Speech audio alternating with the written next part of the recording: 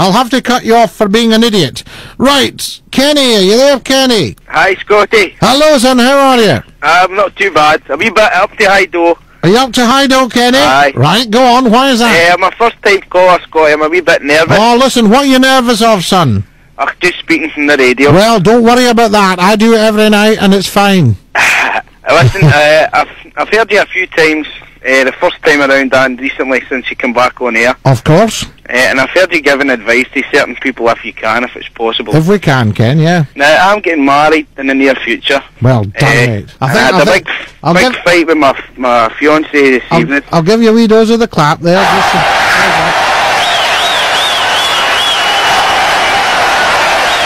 Oh, yes, yes.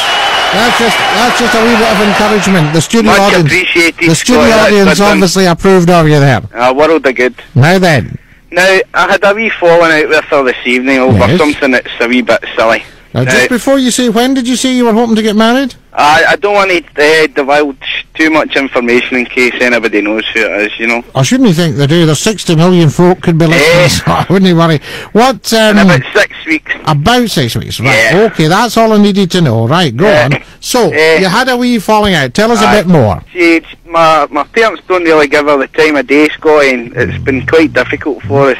Uh, under a wee bit of pressure. Do they stuff like think she's not post. good enough for you? Eh, I don't know what the problem is, Scottie. They'll just I mean, you can be honest about it. If that's what they think, that could be the thing. probably. So they think, I, you know, I really don't know. nobody's. Good enough. Uh, Are your parents quite proper people? No, that's not. No, I wouldn't say that. No. You know, I mean, do they sort of, uh, you know, have they got very high standards? Eh, I think it's just set in his ways, Scott. He's a wee bit old-fashioned. What, when it your old man? thing- Aye. Aye. What, what, what, what, to deal with. what age are you, Robert? Eh, Sorry, Kenny, I beg your eh, pardon, Robert. I'm 30. 30, alright, so Aye, you're not, you're not just a, a, a wee bear me. No, no, we've been we've been living. My fiance and myself have been living together for the past five years. So Oh, right. Oh, well, heavens. Now, listen, can I tell you what I think's going on? Well, you tell me a bit more, and then I'll, I'll tell you what I think's going on. I mean, eh, how can I explain it? It's a wee bit hard to explain. I've not really talked to anybody about it before. That's why. No, but you're doing very you know. well with it. You're doing very Eh. well with it. We're getting on fine, aren't we?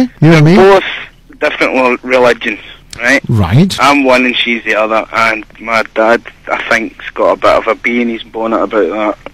Right. So I think that's maybe part of it. And what, uh, are you a Protestant? No, no, no. You're a Catholic? Yeah. And eh, she's a Protestant? Yeah. Yes. Now, I don't have a problem with that. I Mm-hmm. was brought up a Catholic, but I'm not a practicing Catholic for the past eh, for 14 years or so since. Right.